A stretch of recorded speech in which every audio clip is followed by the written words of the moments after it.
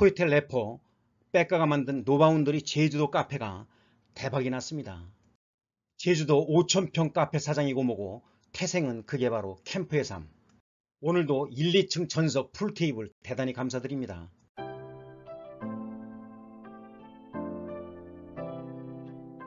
코요태 래퍼 빽가의 종교는 기독교입니다. 현 코요태 멤버 중 유일한 종교인이며 가수 백가는 때로는 강한 랩으로 때로는 여린 감성이 느껴지는 사진으로 대중의 마음을 사로잡고 있는 스타인데요.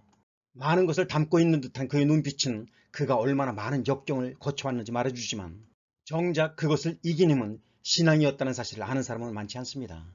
백가 제주도 5천평 카페 대박났네 영업 마감 후 탈진 그룹 코요테 멤버 백가가 근황을 전했습니다.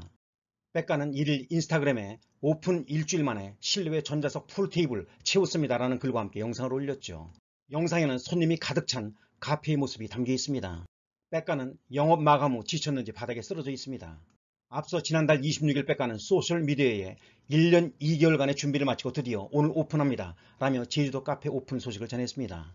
이어 브런치 카페, 와인바, 와인마켓, 갤러리 그리고 5천평의 아름다운 자연을 마음껏 즐기실 수 있습니다. 라고 소개했죠.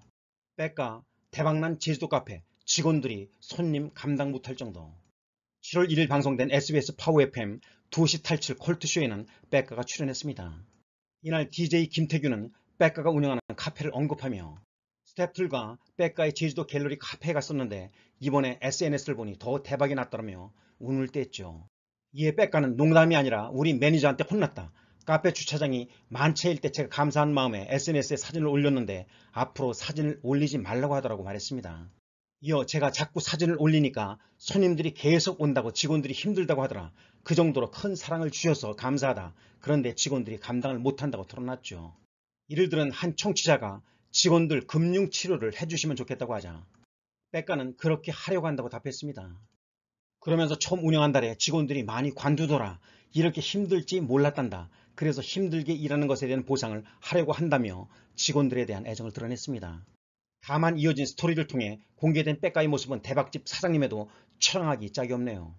카페 외부 공간에 쭈그려 앉아 라면을 끓여 먹고 있는 그는 제주도 5천평 카페 사장이고 뭐고 태생은 그게 바로 캠퍼의 삶이라고 밝혀 웃음을 자아냈죠. 한편 빽가는 지난 5월 제주도에 노 바운더리 제주 카페를 오픈했습니다. 출연 중인 SBS 파워 FM 2시 탈출 컬투쇼를 통해 카페 건물 앞 약 5천평 정도의 외부 공원을 자랑하기도 했는데요. 이후 손님으로 문전성시인 카페 성을 전하며 화제를 모았습니다.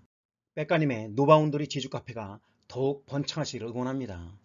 앞으로도 꽃길만 걸으시기를 위하여 기도하겠습니다. 오늘도 성령님과 동행하며 축복받는 하루가 되시기를 기원합니다. 크리스찬 튜였습니다. 감사합니다.